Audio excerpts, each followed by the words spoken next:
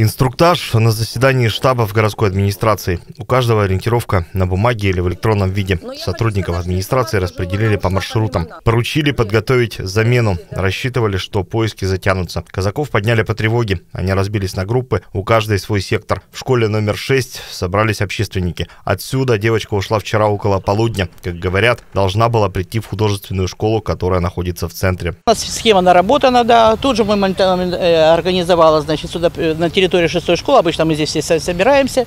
Вот, старшие по домам пришли. Я поставила задачу, что нужно пойти пообщаться с населением.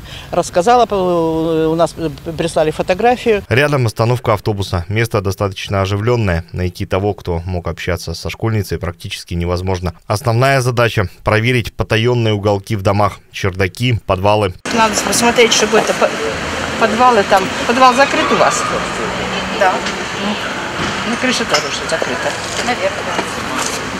Сколько лет девочке? В четвертый класс ходит.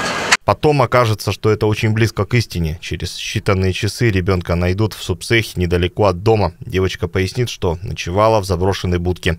Похожей версии придерживались добровольцы из числа молодежи. Они решили осмотреть отдаленные уголки детского парка, а также пройтись вдоль Пионерского проспекта по стройкам и заброшенным объектам. Э, Экстрим, там, там можно побегать, там нет взрослых. Молодые люди списались через социальные сети. Они общаются по линии молодежного центра «21 век» и студенческого совета. Луиза живет в Анапе второй год, приехала из Карачаева-Черкесии. Я представляю примерно, каково ее родителям, потому что не раз тоже было, что и у меня в республике дети пропадали. Это ужасно страшное происшествие, и просто хочется помочь по-человечески.